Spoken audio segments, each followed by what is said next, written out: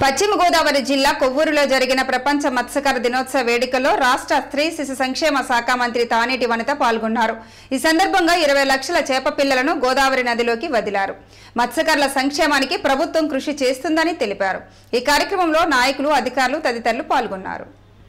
అండగా ఉండడానికి వాళ్ళకి ఉపాధిని కల్పించడం కోసం ఈ రోజున ఇరవై లక్షల చేప పిల్లలని గోదావరిలోకి వదలడం జరిగిందండి.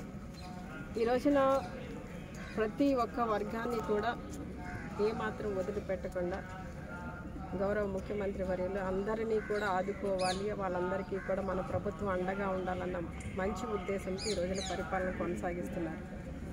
అలానే సముద్రం మీద వేటకు వెళ్ళే మత్స్యకారులందరికీ కూడా ఒక రెండు నెలల వాళ్ళకి హాలిడే ఉంటుంది. ఆ హాలిడే సమయంలో కూడా వాళ్ళు ఇబ్బంది పడకూడదు అన్న మంచి ఉద్దేశంతో వాళ్ళకి ఆ రెండు నెలలు వాళ్ళ పోషణ నిమిత్తం వాళ్ళకి పదివేలు ఇవ్వడం జరుగుతుంది. అట్లానే వేటకు వెళ్ళి ఇబ్బంది పడిన వారు ఎవరైనా ఉంటే వాళ్ళందరినీ కూడా వాళ్ళకి బీమా కల్పించడం కూడా ఉంది.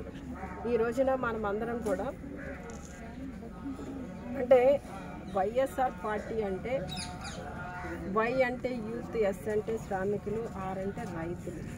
శ్రామికులను గుర్తించిన ఏకైక ముఖ్యమంత్రి మన జగనన్న.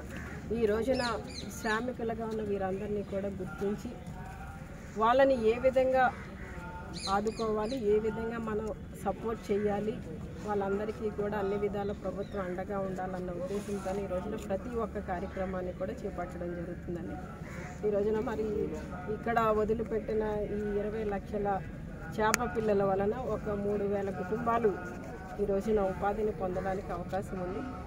అట్లానే ఇది మా జిల్లాలో పశ్చిమ గోదావరి జిల్లాలో ఈ సంవత్సరం వదిలిపెట్టే దాంట్లో మొదటి విడతలు ఇక్కడ వదిలిపెట్టడం జరిగిందండి. నిజంగా మరి ఈ రోజున ప్రపంచ మత్స్యకారుల దినోత్సవం సందర్భంగా ఈ కార్యక్రమం చేయడం అనేది చాలా సంతోషంగా ఉంది. మరి మత్స్యకార సోదరులందరికీ కూడా శుభాకాంక్షలు తెలియజేస్తూ సెలవు తీసుకుంటాం